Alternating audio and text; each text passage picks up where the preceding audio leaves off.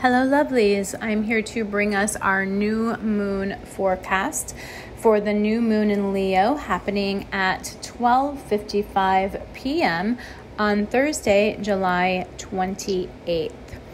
The start of Leo season is July 23rd, so this new moon in Leo is relatively early in the Leo season. And the cards that we are looking at are the Eight of Swords, the Knight of Pentacles, and the Eight of Cups. Uh, seeing some balance there with those two eights on either side of the Knight of Pentacles, so that's something that we will circle back to. The next three cards are the Magician, the Chariot, and the Seven of Cups. So the Chariot is a seven, and the Seven of Cups, another seven. Seeing some numerical patterns here. The last three cards are the Wheel of Fortune, the Empress, and the Queen of Swords. So, our first two cards, excuse me, first three cards are in regard to the dark phase of the moon, the phase in which the moon is not visible in the sky at all. The new moon is actually consisting of three phases onto itself the dark phase, the transition in which the moon is coming out of the darkness and becoming visible once again, and then the new moon itself when it's completely visible as a crescent in the sky before it becomes it starts to transition into fullness once again. So that's the classic new moon phase. Um, it's the quintessential shape of the crescent moon that we think of when we think of a new moon. So, in this dark phase, we have the Eight of Swords, Knight of Pentacles, and Eight of Cups. And the dark phase can also be equated to the um, unconscious happenings within us or the shadow activities that are happening within us. A dark phase, when there is no illumination, indicates a shadowy period. So, this is a mysterious period. This is a period when we have more contact with the unseen and unknown worlds, with the invisibles. This is a period in which we have more contact with the unconscious worlds, the subconscious worlds. Um, there's a shadow side and a light side to this phase or this period of time.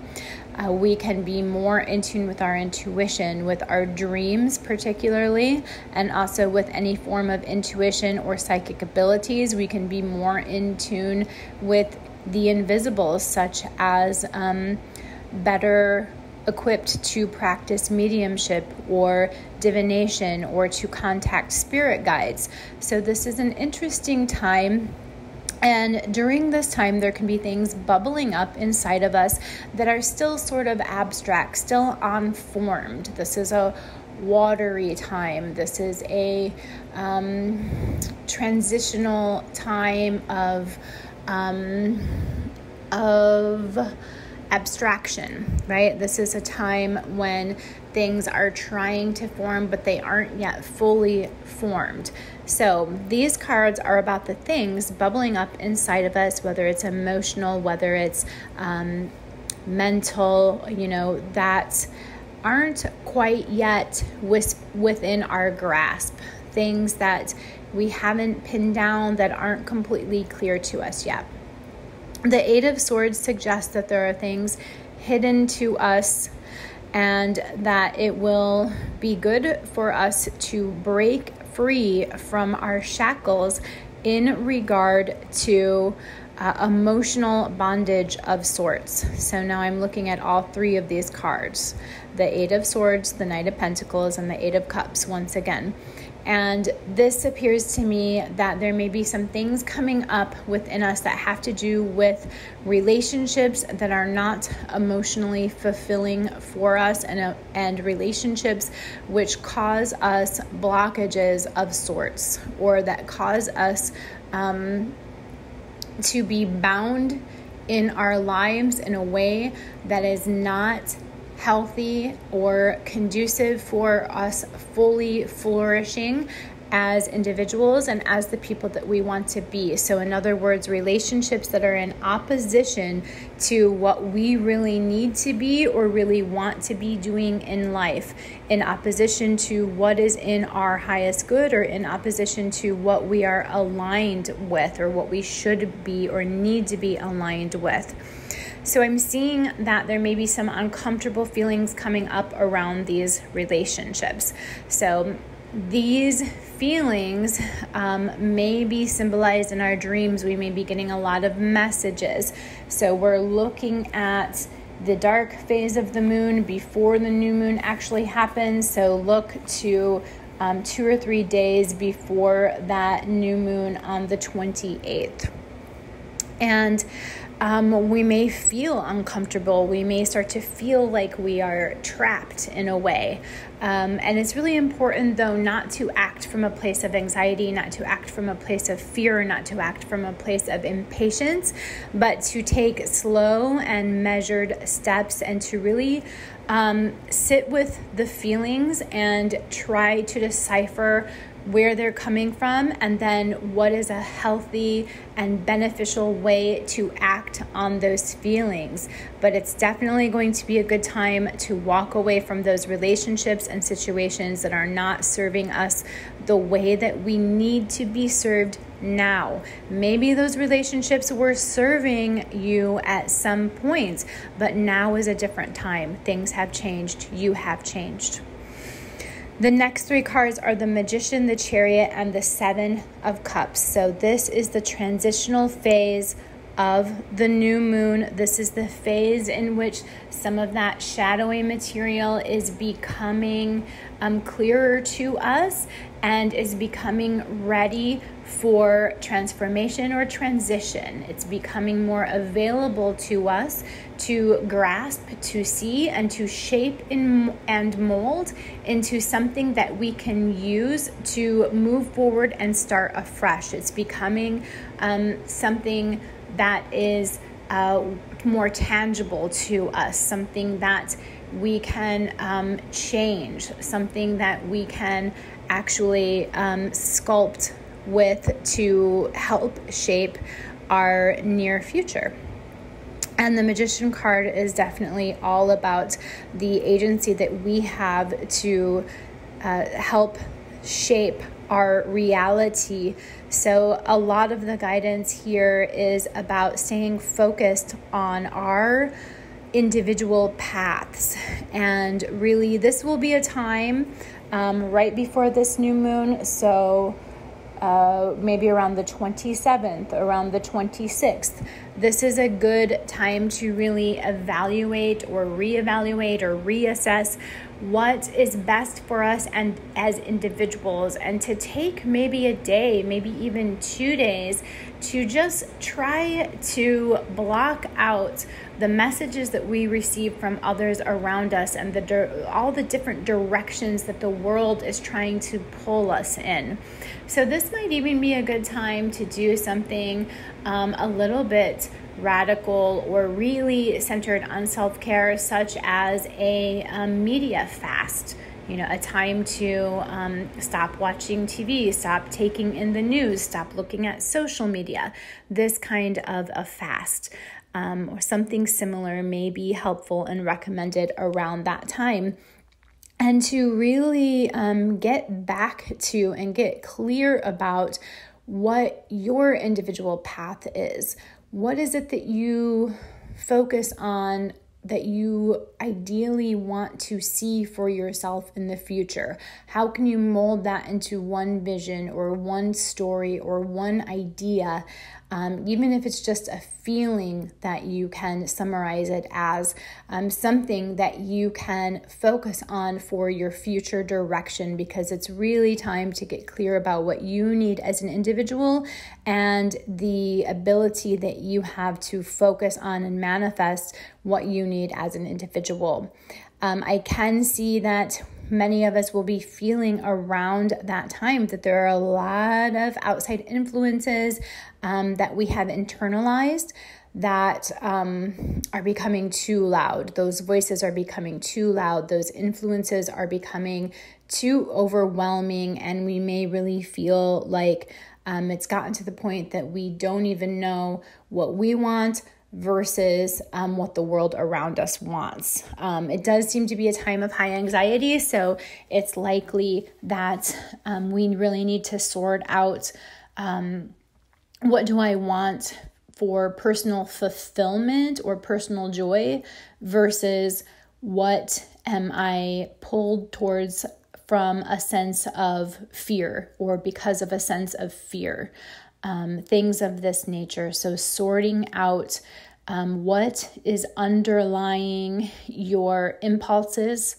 um, especially the different impulses to act in terms of um, what your focus is on your life or um, what your goals are in your life or what you want to achieve or you, where you want your future direction to go to sort out the underlying in, impulses under that.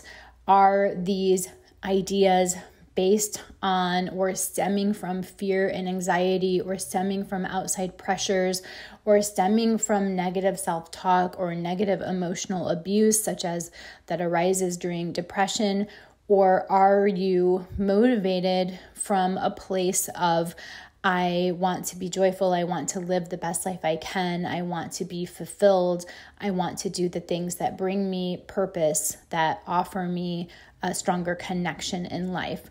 And you have all the tools that you need to sort this out. And you also have all of the tools you need to make what needs to happen for yourself happen. So that's the kind of energy that needs to be tapped into. What are the tools that I have available for myself and how can I start um, re envisioning, reimagining this uh, focus for myself? This is the time. And this will be a great time to gain clarity around those things. So, that is some self reflection that I would suggest around the 26th, 27th of July. Um, moving forward, we have the Wheel of Fortune, the Empress, and the King of Swords. These last three cards apply to the illuminated phase of that beautiful crescent new moon. And when we talk about illumination, we talk about what has come to the surface, what has come to light through these first through phases, first two phases. How has this shadow material been transformed? How has this underworld experience, starting with the dark phase, been transformed into an illumination in our life? What has been brought to light? What are we now clearer about? What have we formed out of that shadow material? The Wheel of Fortune certainly indicates a lot of synchronicity, a lot of blessings, a lot of good luck surrounding this new moon. Look for that feeling of um, synchronicity, of guidance, of good fortune, of things just falling into place, of feeling very blessed or surrounded with good luck, receiving messages left and right. Look for that around the 28th, the 29th, and even maybe moving into the 30th of July. So this will be really helpful for guidance um, regarding, you know, what are those actual next steps to take, the real world pra- practical steps to take that can lead you towards that uh, focus that we discussed during the uh, transitional phase. And then we have the Empress and the King of Swords here. So there's a lot of interesting balance between our bodies and our minds. And um, I'm seeing that a, a stronger sense of alignment or a stronger sense of um, communication between those two aspects of ourselves is going to allow us to tap into this energy further. When I talk about tapping into the energy, I'm talking about tapping into the energy of the good fortune surrounding us at this time. So, being able to make the most of that and being able to make the most of the guidance that we're receiving. With the King of Swords here, I can also see that a lot of the guidance we may receive um, around the new moon is going to be coming to us um, through claircognizance, through clear knowing. So you can expect it to be a time where um, messages and information just kind of drops into our head, or we could have um, sudden ideas and we don't really know where they come from. So you can look for that kind of guidance to be strong around that time and pay close attention to it because it may be really important. It may be um, significant for you in, in terms of moving your life forward in the way that we have talked about. It's going to be a good time for nurturing relationships and nurturing yourself. We talked about that mind body connection. How can you become a bit more embodied during this new moon? How can you tap into what your body needs and what your body is telling you? And how can you create that stronger communication and connection between your mind and body? Your body is a key to um, moving you forward in the direction that you want. It will also be a great time for healing within your body, especially. I'm going to say it once again, especially if you're able to tap into a stronger mind body connection. This will be a great time for healing on all levels and many of the um, messages and much of the guidance that you may receive around this time is going to um, be about that healing. So it could be about what needs to be healed, what has been brought forward from those shadows and made clear to you. It may become more clear to you what needs to be healed, what needs to be attended to, what um, has been neglected or what has been forgotten, what has been left by the wayside and how can that material continue to um, heal and be turned into something that can nurture you and assist you with growing.